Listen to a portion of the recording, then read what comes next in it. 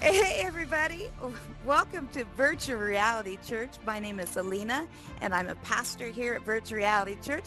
And behind me here, we have our church family from all over the globe. And everyone is welcome at Virtual Reality Church. It doesn't matter if you believe in God or not. So grab a headset and download AltSpace Rec Room or VR Chat and come experience something that you have never experienced before.